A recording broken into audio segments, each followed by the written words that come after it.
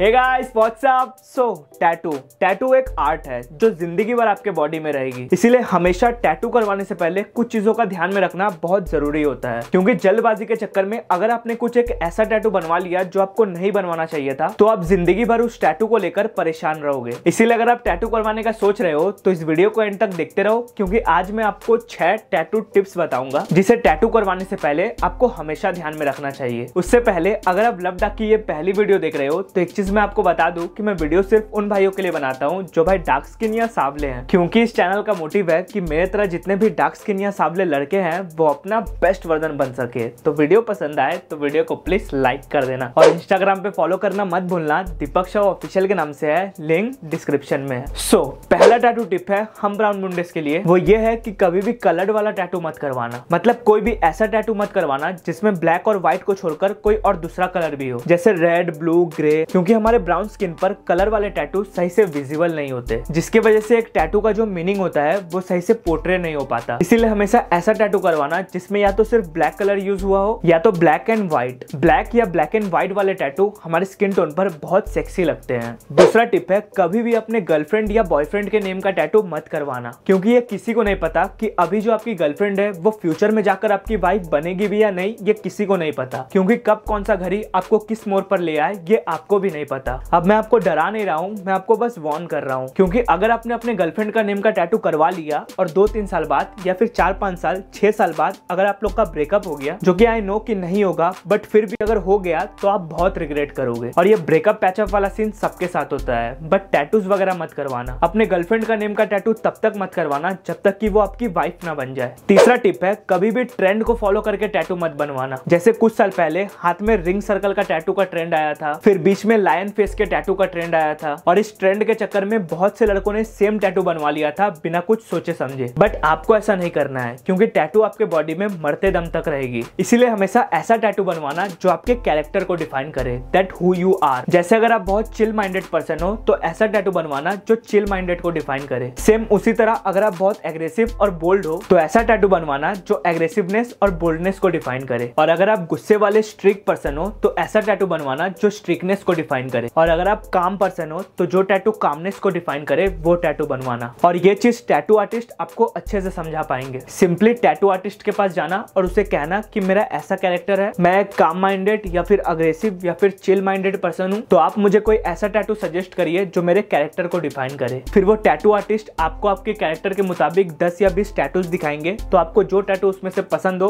वो करवा लेना। चौथा टिप है, कभी भी अपने नेक और अपने हैंड में टैटू मत करवाना। इन शॉर्ट कोई भी ऐसा जगह पर टैटू मत करवाना, जिसे एक फुल स्लीव शर्ट पहनने के बाद वो विजिबल हो। जैसे मान लो, अगर अपने हाथ में टैटू करवाया तो एक फुल स्लीव शर्ट के स्लीव को पूरा खोलकर पहनने के बाद भी वो टैटू विजिबल होगा। सेम ऐसा नेक पर भी टैटू करने से शर्ट पहनने के बाद वो विजिबल होता है। और आपको तो पता ही है कि ऐसे बहुत से जॉब सेक्टर खास करके गवर्नमेंट जॉब सेक्टर में विजिबल टैटू अलाउ नहीं होते। तो इसीलिए अगर आपने कसम खा लिया कि आप अपने ज़िंदगी भर में कभी भी जॉब नहीं करोगे तो फिर आप चाहो तो अपने नेक अपने हैंड या फिर किसी भी विजिबल एरिया में टैटू करवा सकते हो। बट अगर आप फ्यूचर में जॉब करना चाहते हो तो अपने नेक और अपने हैंड में टैटू मत करवाना। नेक और हैंड के अलावा भी बहुत सी जगह है जहाँ आप टैटू करवा सकते हो। जैसे चेस्ट बैक शोल्डर्स आर्म्स और इसी से रिलेटेड हमारा पांचवा टिप है कि गलती से भी अपने फेस और अपने लोअर बैक पर टैटू मत करवाना। पता नहीं लोग अपने फेस पर टैटू क्यों करवाते हैं। फेस पर टैटू मुझे तो अलग ही लेवल का छपरीनेस लगता है। और हम ब्राउन मुंडेस को तो गलती से भी अपने फेस पर टैटू करवाने के बारे में सोचना भी नहीं चाहिए। और रही बात लोअर बैक की तो लोअर बैक एक ट्रैम्प स्टैम्प है। इसीलिए लोअर बैक पर सिर्फ़ लड़कियों को ही टैटू करवाना चाहिए। इसीलिए अपने फेस पर और अपने लोअर बैक पर गलती से भी टैटू मत करवाना। And finally six tattoo tip है, हमेशा एक वेल रेपुटेटेड टैटू पार्लर में जाकर ही टैटू करवाना। किसी भी रोड साइड टैटू शॉप पर जाकर टैटू मत करवाना। क्योंकि पहली बात, कोई भी रोड साइड टैटू शॉप पर कोई भी प्रोफेशनल टैटू आर्टिस्ट नहीं होता। और दूसरी बात रोड साइड टैटू शॉप वाले जो सुई को यूज़ करते हैं टैटू बनाने के लिए, उस सुई को वो चेंज नहीं करते हैं। जब तक कि उस सुई से दस बीस जन का टैटू वो ना बना ले। और ये एक बहुत बड़ा रिस्क है। इससे दूसरे का इन्फेक्शन तीसरे में फैलता है और इससे छोटी मोटी प्रॉब्लम नहीं, आपको एड्स तक हो सकती है। इसीलिए हमेशा एक वेल रेपुटेटेड टैटू शॉप पर जाकर ही टैटू करवाना। हर वेल रेपुटेटेड टैटू शॉप का इंस्टाग्राम पर एक पेज होता है। सो पहले इंस्टाग्राम पर उस शॉप के पेज पर जाना और उसके काम को अच्छे से एनालाइज करना। फिर उस शॉप पर जाकर अपना टैटू करवाना। और एक बोनस टिप बताना चाहता हूँ कि जब आप टैटू आर्टिस्ट को जाकर अपने कैरेक्टर के बारे में बताओगे और आपके कैरेक्टर के मुताबिक जब वो टैटू आर्टिस्ट आपको एक टैटू सजेस्ट करे और उस टैटू का बजट अगर आपके बजट से बहुत ज़्यादा हो तो सस्ते के चक्कर में कोई और टैटू मत करवा लेना। वही टैटू करवाना जो वो टैटू आर्टिस्ट बोले। भले ही उसका बजट अभी आपके बजट से बाहर हो रही है बट वही टैटू बनवाना। अभी मत बनवाओ धीरे धीरे पैसा इकट्ठा करो, कुछ महीने बाद बनवा लेना बट वही टैटू बनवाना। क्योंकि जैसा मैंने आपको कहा कि टैटू मरते दम तक आपके बॉडी पर रहेगी, इसलिए वही टैटू बनवाना जो आपके कैरेक्टर को डिफाइन करे। भले ही वो कितना ही महँगा क्यों ना हो, इसलिए करवाना हो तो अच्छे से करवाना या तो मत करवाना।